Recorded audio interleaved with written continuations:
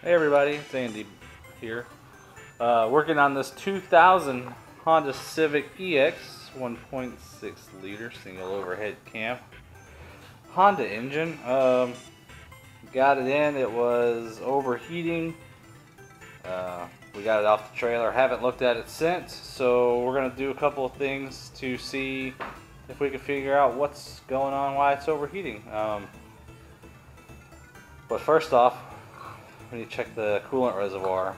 Um, it looks like here. Alright, so we've got coolant. Not sure if you can see that in the reservoir, which is good. It's not oily or anything, so we know there's some there. Um, put that back on. It looks like they've wired up this yellow wire to both of the fans going on the back of the condenser and also the radiator fan. So let's check the coolant here.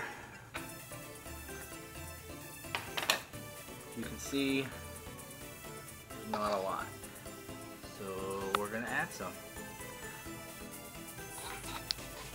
Let's do that.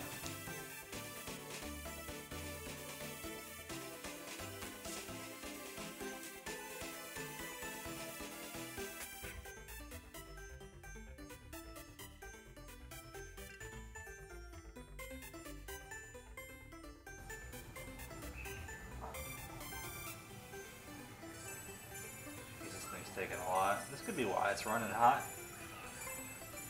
Doesn't have any kind of coolant. No, I'm not going to keep water in it. I will put 50-50 back in it whenever we're done. This is just for testing purposes only right now. So looks like I've got a water leak. Uh, it's coming out of somewhere.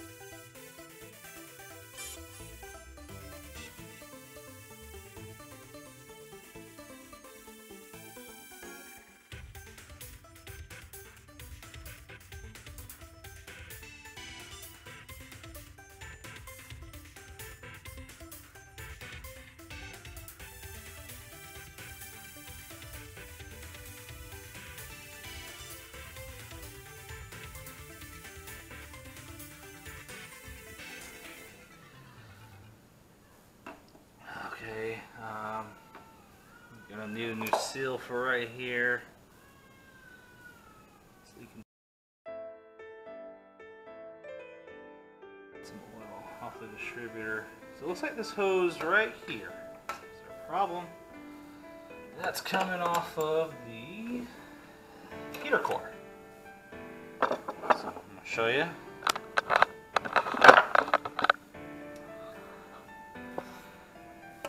See this?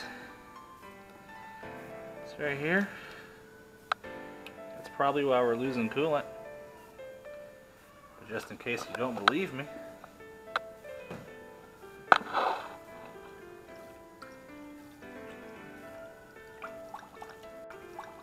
As you can see. So, I'm guessing this thing's probably overheating because it's got a air bubble. So let's go ahead and get this hose fixed real quick. We'll just cut, we got plenty here, so we'll just cut some off and we'll add it back on there.